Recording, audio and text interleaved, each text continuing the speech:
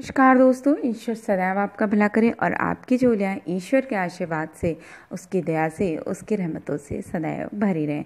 तो दोस्तों, आज फिटनेस और हेल्थ से रिलेटेड जो मैं अपने वीडियोस की सीरीज़ है, उसमें एक नवीन चीज़ को जोड़ना चाहती हूँ और वो है स्ट्रोक स्ट्रोक क्या होता है? देखिए, मैं खुद एक मेडिकल एस्ट्रोलॉजी में रिसर्चर हूँ और विभिन्न बीमारियों को समझना खान पान की आदतों को समझना और उसमें चेंज करके कैसे हम अपने लाइफ को बेहतरीन बना सकते हैं और कैसे किसी भी रोग के लक्षण को समझ कर चिकित्सकीय दवाओं के साथ साथ कुछ आप कह सकते हैं एस्ट्रोलॉजिकल उपायों के द्वारा कैसे बीमारियों को कम करने का प्रयास कर सकते हैं, वो मेरा पूरा प्रयास रहता है। लेकिन आज इस वीडियो में सिर्फ़ और सिर्फ़ मेडिकल जो इसकी प्रॉब्लम्स होती हैं स्ट्रोक की, और उसके लक्षणों को कैसे समझे, उसके प्रकार को कैसे समझे, और क्या उपचार विधियाँ डॉक्टर्स अपनाते हैं, उसके बारे में इस वीडियो के माध्यम से आपको बताना चाहूँगी। तो देखिए स्ट्रोक के जो कारण होते हैं, वो मस्तिष्क के जो टिश्यूज़ होते हैं, उनमें ऑक्सीजन और पोषक तत्वों की कमी होने पर कुछ ही मिनटों में जो मस्तिष्क की कोशिकाएँ होती हैं, वो डेड होने लगती हैं, मृत होने लगती है। स्ट्रोक होने पर जल्द से जल्द समुचित इलाज करने पर मस्तिष्क की क्षति और संभावित जटिलताओं को कम किया जा सकता है। अब देखिए, इसके कारण क्या है? स्ट्रोक होने पर मस्तिष्क को ऑक्सीजन और पोषक तत्वों की आपूर्ति नहीं हो पाती है, जिसकी वजह से मस्तिष्क की जो कोशिकाएँ होती हैं, वो मृत होने लगती हैं। देखिए, स्ट्रोक मुख्यतः जो होते हैं, दो प्रकार के होते हैं। पहला तो होता है एस्कीमिक स्ट्रोक, जो 85 परसेंट एस्कीमिक स्ट्रोक ही होते हैं, और जो 15 परसेंट जो स्ट्रोक होता है, वो ब्रेन हैमरेज के कारण होता है, और ब्रेन हैमरेज का जो सबसे बड़ा कारण बताया डॉक्टर्स के अनुसार वो है हाई ब्लड प्रेशर।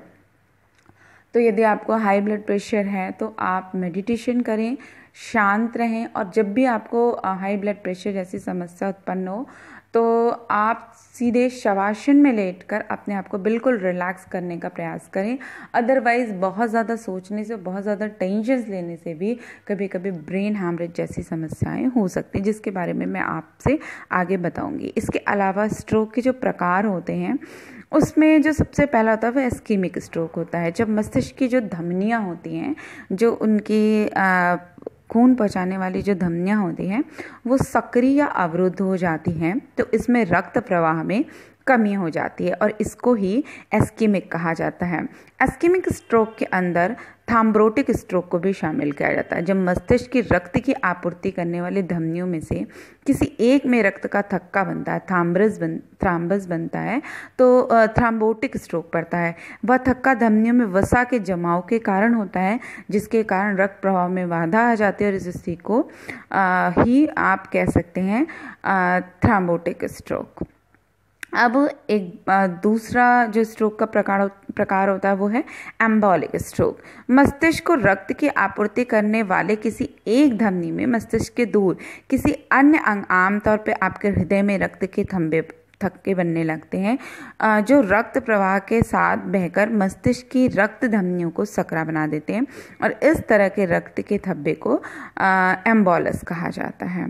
अब एक और प्रकार का स्ट्रोक होता है, जिसको एस्कीमिक स्ट्रोक के अंदर रखते हैं, जिसे टीआईए कहते हैं, जिसका फुल फॉर्म होता है ट्रांजिएट एस्कीमिक अटैक इसको मिनी स्ट्रोक के रूप में जाना जाता है। इसमें कम समय के लिए उसी तरह के लक्षण प्रकट होते हैं, जिस तरह के लक्षण स्ट्रोक के समय होते हैं। मस्तिष्क के किसी हिस्से में थोड़े समय के लिए रक्त आपूर्ति में कमी होने पर टीआईए की स्थिति उत्पन्न हो जाती है। जो पाँच मिनट से भी कम समय तक रहती है। अगर किसी व्यक्ति को टी आई ए हुआ है तो इसका मतलब है कि मस्तिष्क की या हृदय को की रक्त की आपूर्ति करने वाली कोई धमनी आंशिक तौर पर अवरुद्ध हुई है या सक्रिय हुई है। देखिए, इसके जो प्रमुख जो कारण होते हैं, अगर आप देखिए कि क्यों स्ट्रोक हो रहा है किसी भी व्यक्ति को, या ऐसी प्रॉब्लम क्यों क्रिएट हुई? तो सबसे पहले अपने लाइफ स्टाइल को देखिए। मैंने हमेशा अपने वीडियो में कहा है कि prevention is better than cure तो सबसे पहले प्रॉब्लम्स देखिए। प्रॉब्लम्स कैसे आ सकती हैं अगर हाई ब्लड प्रेशर है। डायबिटीज़ बहुत हाई है हाई कोलेस्ट्रॉल है, अत्यधिक मोटापा है, ये सभी स्ट्रोक के कारण है। इसके अलावा ऑब्स्ट्रिक्टिव स्लीप एनमिया अर्थात नींद संबंधी समस्याएँ जो भी होती हैं, जिसे नींद ना आना रात में, या ऑब्स्ट्रक्टिव स्लीप एपनिया में क्या होता है कि रात के समय ऑक्सीजन का जो स्तर होता है, वो रुक रुक कर गिरता है और वही हृदय रोगों के कारण भी स्ट्रोक का जोखिम बढ़ा देता है। अब बात करेंगे इसके लक्षणों की। ये सबसे ज़्यादा इंपॉर्टेंट पार्ट है पूरे वीडियो का। आप इसको बहुत ध्यान से सुने कि ये कैसे आप इसको समझ सकते हैं। क्योंकि देखिए, ये एक ऐसी बीमारी है जिसका कोई घरेलू इलाज नहीं हो सकता। इसके लिए आपको इमीडिएटली हॉस्पिटल जाना ही पड़ेगा। तो देखिए, इसके पहला लक्षण होता है, यदि बोलने और समझने में दिक्कत आए, आवाज़ में लड़खड़ाहट होने लगे या किसी भी बात को समझने में दिक्कत हो तो आपको तुरंत डॉक्टर के पास चले जाना चाहिए। दूसरा चेहरे या हाथ या पैर में कमज़ोरी या इसका सुन्न हो जाना विशेष रूप से शरीर के एक तरफ़ के चेहरे हाथ या पैर में अचानक सुन्नपन या कमज़ोरी महसूस होना। दूस आ, दूसरा एक और रीज़न हो सकता है एक या दोनों आँखों से देखने में दिक्कत महसूस होना अचानक होता है ये। यानी कि बहुत दिनों से हो रहा अचानक एक या दोनों आँखों से धुधला या काला दिखना और एक चित्र दोहरे चित्र में दिखाई देना। इसके अलावा तेज सिर दर्द होना और साथ ही उल्टी आना चक्कर आना या बेहोशी जैसे लक्षण हो तो तुरंत आप डॉक्टर के पास चले जाएँ। इसके अलावा यदि किसी को चलने में परेशानी और चलते समय अचानक लड़खड़ा कर गिर जाए ऐसे में सम, समझ में ना आए कि वो क्यों गिर रहा है और अगर आप स्ट्रोक के किसी भी ऐसे संकेत या लक्षण को महसूस कर रहे हैं तो बिना समय गवाए अपने परिजनों को तुरंत डॉक्टर के पास ले जाएँ। और इससे भी पहले आप एक विशेष जो डॉक्टर्स ने इसके लिए एक जो लक्षण बताए हैं, वो है, आप उसको एक फास्ट एक मेथड होता है जिसके द्वारा आप उसे समझ सकते हैं।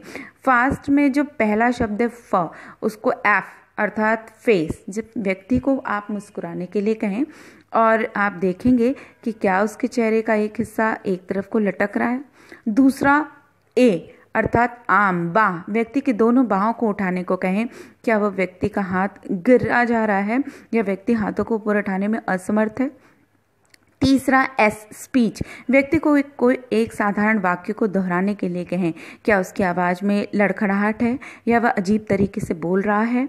और चौथा लक्षण होता है टी अर्थात टाइम अगर आपको इनमें से कोई भी लक्षण प्रकट हो तो सबसे पहले आपको अपने अस्पताल में जाएँ और न्यूरो सर्जन या न्यूरोलॉजिस्ट जो भी वहाँ पे उपलब्ध है सबसे पहले आप उनको दिखाएँ क्योंकि एक ऐसी बीमारी है कि यदि इसका तुरंत दो से तीन घंटे के अंदर इलाज मिल जाता है तो व्यक्तियों को सही होते देखा गया। अदरवाइज़ लंबा टाइम बीतने के बाद आ, बहुत सारे रोगी ऐसे हैं जो आज भी बिस्तर पर ही पड़े रह जाते हैं और उनकी क्लॉटिंग भी माइंड की पूरी रूप से ख़त्म नहीं हो पाती है।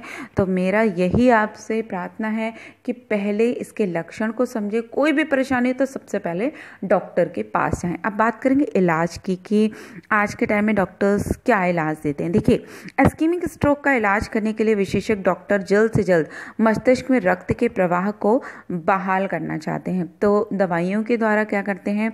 कि तुरंत जो दवाइयाँ दी जाती हैं उसके अंदर थक्के को घुलाने वाली थेरेपी स्ट्रोक तीन घंटे के भीतर शुरू हो जानी चाहिए। अगर ये थेरेपी नस के ज़रिए दी जा रही है तो जितनी जल्दी शुरू हो जाए, उतना ही अच्छा होता है। शीघ्र उपचार होने पर न केवल मरीज़ के जीवित रहने की संभावना बढ़ जाती है, बल्कि जटिलताएँ होने के भी खतरे काफ़ी घट जाते हैं। इसके अलावा जो डॉक्टर्स होते हैं वो रोगी को एस्प्रिन नामक दवाई भी देते हैं। दवा रक्त के थक्के बनने से रोकती है। इसी तरह से आ, बहुत सारे अन्य इलाज भी डॉक्टर कहते हैं करते हैं जैसे कि मस्तिष्क तक सीधे दवाएँ पहुंचाना। इसमें डॉक्टर्स व्यक्ति के कमर की एक धमनी में एक पतली और लंबी ट्यूब डाल देते हैं और इसे मस्तिष्क में स्ट्रोक वाली जगह पे ले जाते हैं और कैथेटर के माध्यम से उस भाग में टीपीए को इंजेक्ट करते हैं। यांत्रिक रूप से थक्का हटाना, इसमें डॉक्टर यांत्रिक रूप से क्लॉट को क्लॉट को तोड़ने और फिर थक्के को हटाने के लिए पीड़ित शख्स के मस्तिष्क में एक छोटे से उपकरण को डालते हैं और इसके लिए वो एक कैथेटर का उपयोग करते हैं। इसके अलावा भी और भी अन्य प्रकार होते हैं जिसके द्वारा डॉक्टर स्ट्रोक का इलाज करते हैं। जैसे कि जो सर्जन होते हैं वो व्यक्ति की गर्दन के सामने एक चीरा लगाकर कैरोटिड धमनी को खोलते हैं और कैरोट ऑब्स्ट्रक्टेड धमनी में रुकावट पैदा करने वाले प्लॉक जो होते हैं मतलब जो धब्बे होते हैं या प्लॉक जो बन गए होते हैं, उनको हटाते हैं। इससे जो अवरोध होते हैं, वो किसी चीरे के बगैर, जांग से एनजियोग्राफी की तरह कैरोटिड आर्टरी में डालकर अवरोध को दूर कर दिया जाता है, जिससे मरीजों को राहत मिलने लगती है। लेकिन देखिए, ये सारे मेडिकल टर्म्स हैं। एक जो अच्छा न्यूरोलॉजिस्ट या न्यूरोसर्जन होता है, वो इन चीज़ों को बहुत अच्छे तरीके से समझता है, जानता है। लेकिन हमारा जो सबसे पहला प्रयास होना चाहिए, वो होना चाहिए लक्षण को समझना।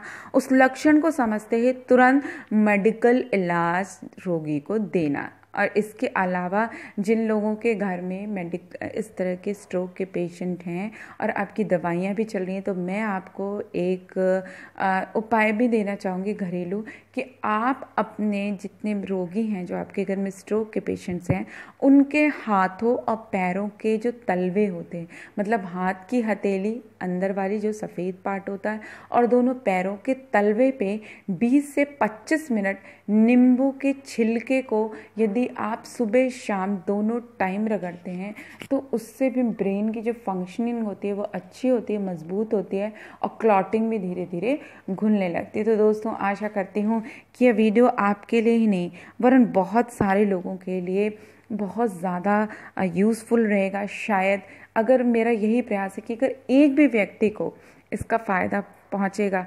तो मेरा इस वीडियो को बनाने का मकसद पूरा हो जाएगा। तो दोस्तों, ईश्वर आप पे सदैव भला करे और आप पर अपनी रहमतें बरसाएँ। उसके साथ ही मिलते हैं नेक्स्ट वीडियो में। तब तक के लिए नमस्कार।